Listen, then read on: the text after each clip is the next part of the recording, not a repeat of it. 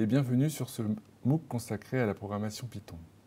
Je suis Thierry Parmentla et avec Arnaud Legout, que vous avez rencontré dans la vidéo L'accroche, euh, nous animons ce MOOC durant les sept prochaines semaines. Cette première semaine sera consacrée à une brève introduction et à une prise en main des différents outils dont vous aurez besoin pour suivre le MOOC et pour programmer Python de manière générale. Je vais commencer par vous préciser les objectifs pédagogiques de ce MOOC et vous donner quelques mots sur l'organisation interne du MOOC lui-même. Tout d'abord, comme vous le savez, Python existe aujourd'hui sous deux versions, qui s'appellent la version 2 et la version 3, qui sont légèrement incompatibles. Euh, nous avons choisi de construire ce MOOC sur la version 2 et plus précisément sur la version 2.7. Les raisons de ce choix sont simples. D'une part, une grande majorité du code existant euh, est principalement compatible avec la version 2 et, bien souvent seulement avec la version 2.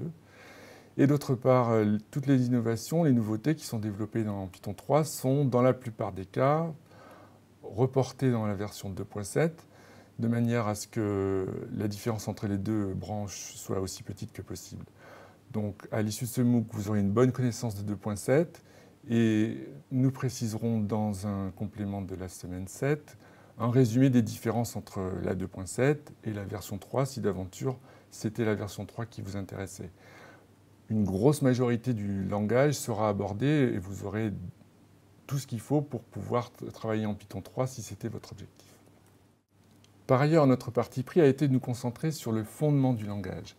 à partir de la semaine numéro 2, Arnaud vous présentera méthodiquement les différents mécanismes fondamentaux du langage. Donc nous allons, pour faire un rapide survol, présenter les différents types de bases. Nous verrons bien sûr les structures de contrôle et les fonctions. Nous parlerons des modules qui vous permettent de faire un code réutilisable et modulaire. Nous verrons les classes qui vous permettent, euh, dans une approche orientée objet, de vous définir vos propres types qui soient euh, pertinents pour votre application. Et nous verrons quelques mécanismes avancés comme euh, les espaces de nommage notamment. Tout au long du cours, nous insisterons sur les grands choix de conception qui ont été faits par les concepteurs du langage, c'est-à-dire en Python tout est objet, le typage dynamique, la liaison lexicale, et nous insisterons sur certains concepts particuliers à Python, et notamment nous parlerons beaucoup de la notion d'itérateur. Toutes ces notions sont clés pour vous permettre d'une part d'écrire du code propre et compréhensible, pour vous permettre de comprendre le code que vous serez amené à lire, et pour vous permettre de facilement appréhender une librairie tierce euh, si vous avez besoin dans votre application d'utiliser des logiciels tiers. Naturellement, nous étudierons aussi quelques-unes de ces librairies, et notamment parmi ce qu'il est convenu d'appeler la librairie standard. la librairie standard, c'est tout le matériau logiciel qui vient avec la distribution standard. Vous ne pouvez pas installer Python sans avoir accès à cette librairie, donc on en parlera un petit peu. Euh, mais l'objectif du cours n'est pas d'essayer de faire un parcours exhaustif de toutes les librairies. Il y a de nombreux outils, comme par exemple Django pour faire des serveurs web, ou NumPy pour faire du calcul scientifique qui pourraient sans problème justifier à eux seuls un MOOC. Donc euh, ça n'est pas possible pour nous de prétendre à une exhaustivité de, cette sorte. Donc pour résumer, notre objectif c'est de vous fournir une très bonne compréhension des fondamentaux du langage, que vous soyez capable de bien écrire, de bien lire, et de bien choisir les, librairies tierces que vous seriez amené à utiliser. Voici comment nous avons choisi d'organiser le matériau pédagogique du MOOC. Chaque semaine vient avec naturellement un certain nombre de vidéos, 8 au maximum. Cela dit, le format de la vidéo ne se prête pas à l'exhaustivité, c'est pourquoi vous trouverez également un certain nombre de compléments. J'insiste sur la nécessité de suivre les compléments car dans la plupart des cas, la vidéo seule peut se révéler insuffisante.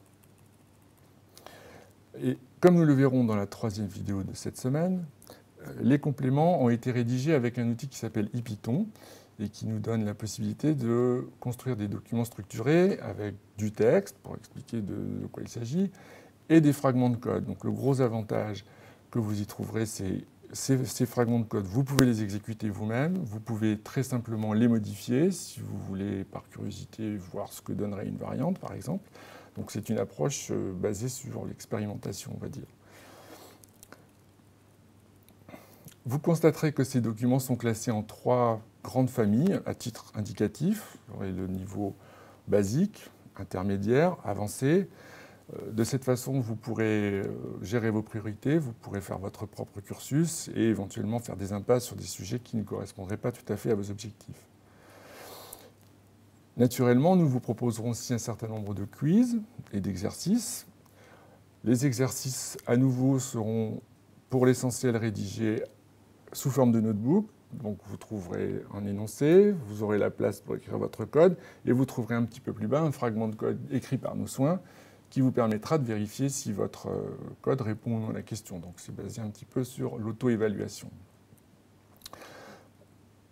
Dans l'état actuel des choses, nous ne sommes pas par contre en mesure de délivrer un certificat à l'issue de ce MOOC.